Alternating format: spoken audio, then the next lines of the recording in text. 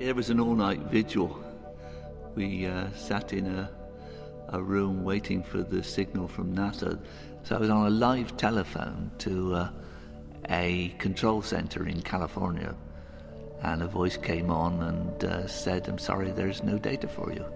Sorry, we have no data for you, which was supposed to be the data that was said, you know, we've got here and uh, everything's okay.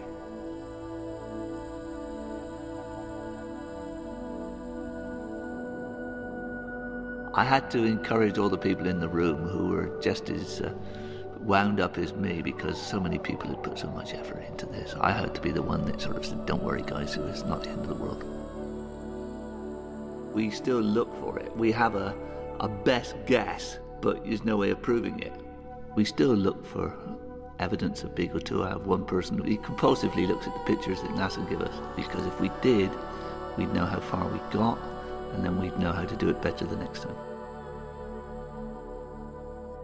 I would like to believe that we would recognize the importance of space exploration. I can't imagine there are many people that haven't stood outside on a starry night and looked at the millions and myriads of stars and thought, I wonder if I'm alone. And this is what we were trying to do with uh, seeing whether there was life on Mars.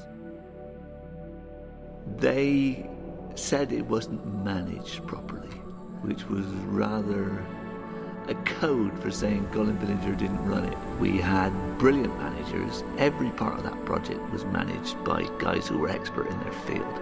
It wasn't a failure. This is what uh, science is about. 90% of all the results you ever get out of doing a scientific experiment are things you didn't anticipate. And that's what annoys me most. Not that we believe that we failed, we didn't. We know how we could have done it better, and we weren't allowed to have another go.